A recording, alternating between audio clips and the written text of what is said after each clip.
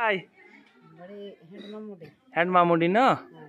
আচ্ছা কোথায় এসেছিলে এখন? কোথায়? এটা কোথায় জায়গাটার নাম কি বটে? লেওয়া। কি জন্য এসেছিলে এই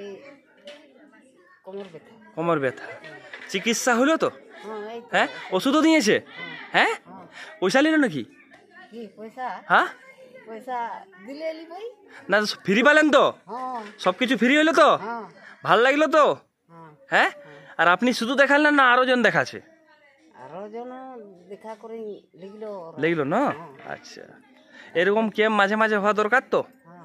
আপনারা তো বেঙ্কুদর পুরুলিয়া যেতে পারবেন নাই। এত বয়স্ক আর টাকাও কম।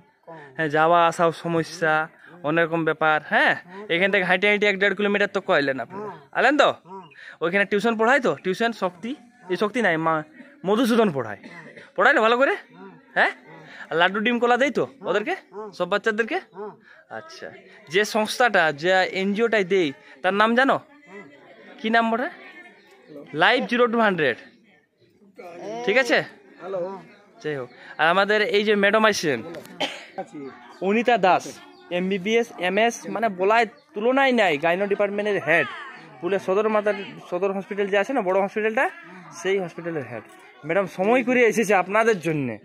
যাতে আপনাদের ছেলে মেয়ে থেকে পড়াশোনা থেকে হেলথ থেকে শুরু করে আপনাদের সকলের জন্য সব সুবিধার জন্য এসেছে। ভালো লাগল তো? পাঁচটা ডাক্তার এসেছে আপনার পাঁচটা। সবার দেখছে তো? ঠিক। ভালোভাবে যাবেন কোনো অসুবিধা হলেও জানাবেন। মধুকে জানাবেন হ্যাঁ? হ্যাঁ হ্যাঁ। ঠিক।